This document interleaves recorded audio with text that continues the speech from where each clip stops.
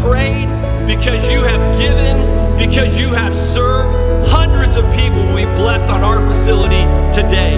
Thank you because God is working in you and God is working through you. So we together wanted to say,